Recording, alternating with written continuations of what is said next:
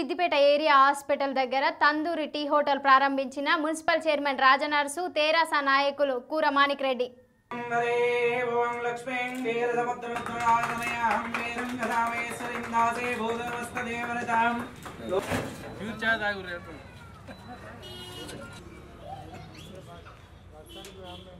మళ్ళీ ఇది?